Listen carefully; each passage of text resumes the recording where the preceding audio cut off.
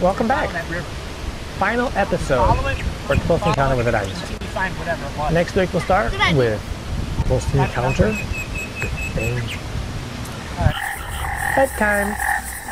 Now, as you guys couldn't see in that episode, but you'll see it in the next one when we do. Close Encounter with Fame.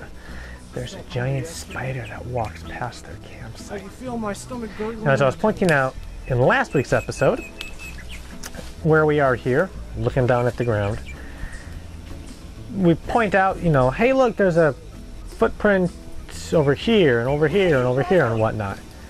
We actually didn't put out any footprints except for a couple of them because you didn't end up seeing them anyways. And it was just a waste of time.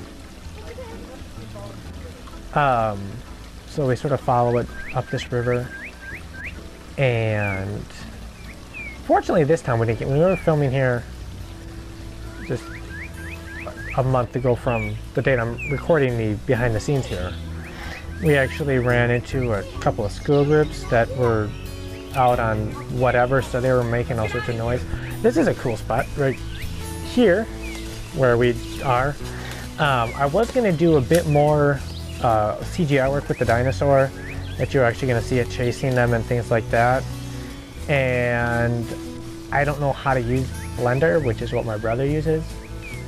Um, so in the next episode with uh, Fame, you see it a little bit more, um, not a bunch, um, time is the enemy of all man.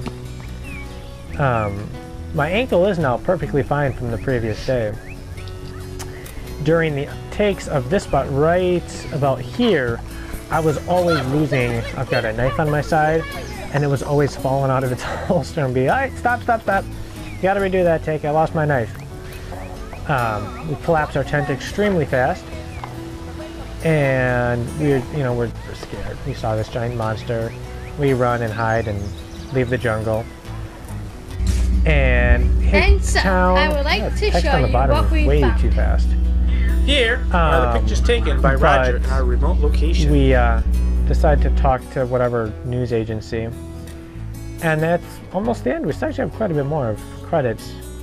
So then these clips we filmed directly after we filmed the previous spots, um, but it's sort of to show this isn't the end of the story. You know, there's another episode coming after it where we go back.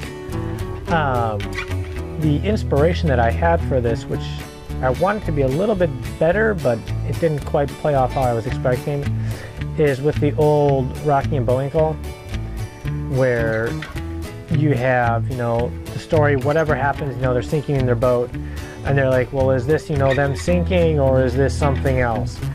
And then when you watch after what would be a commercial break or, you know, their other little story inside there, you go back, you know, a couple of minutes in the previous show and they redo, you know, all the animation, everything, and the story itself actually changes. That's what I was trying to get, didn't quite get that.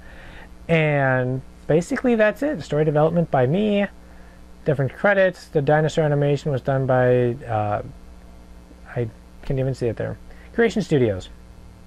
And that's it, folks. Thanks for watching. And I'll catch you all next week.